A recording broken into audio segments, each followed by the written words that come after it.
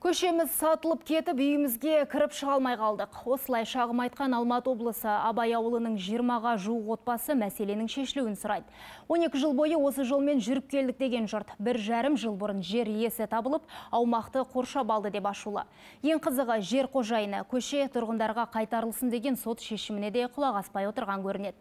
Мұқым елмен Әлібек үшін темір тілдесіп қайтты. Бұлай өте секіріп. Бұлай отырамын, Қарасай ауданына қарасты Абай ауылының тұрғындары көшесіз қалып күлкі болдық дейді. Үйін өзен айналып кіріп, көлігін көше жегіне тастап жүргелі жылдан асыпты. Қоршау артында қалған кей заттарын кранмен тасып, қазір бөтен үйдің ауласы арқылы өтіп жүр екен.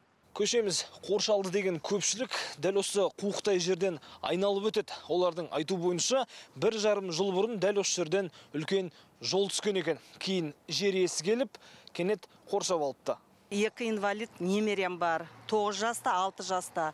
Осы қиыншылықтарды бір жарым жылдан бері көріп жатырмыз. Скорый шақыра алмай, не э, пожарный, басқа деген службаны шақыра алмаймын. Ал шамамен жарты жыл бұрын көше тұрғындарға қайтарылсын деп сот шешімі шығыпты. Жер иесі болса байланысқа шықпайды деп отыр тұрғындар. Ал ауыл әкімі жағдайды біле тұра бұл шаруаға араласпағанға ұқсайды.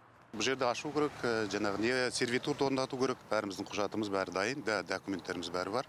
Түгел но- норматив орындалған сақталған әкім жұмыс істемейді басқа не деп айтамын мен.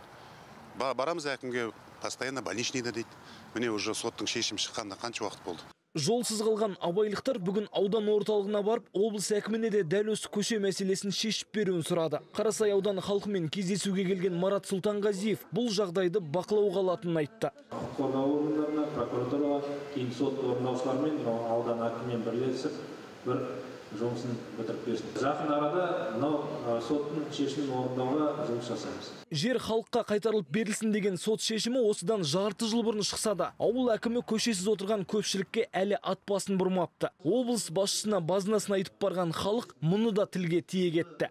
соттың шешімі орындалмаған үшін қараша айында райымбек ауылының әкіміне сот арқылы айыппұл салды егер газ құбырынан қазір бір миллиметр тесік шығатын болса бір қызмет кіріп оны жөндеу жұмысын жасай алмай және бір көшенің тұрғындарынан айырыламыз Осылайша жауаптылар облыс әкіміне жағдайды бір жақты етеміз деп сендірді. Алайда мәселенің қашан шешілетінін нақты айтпады.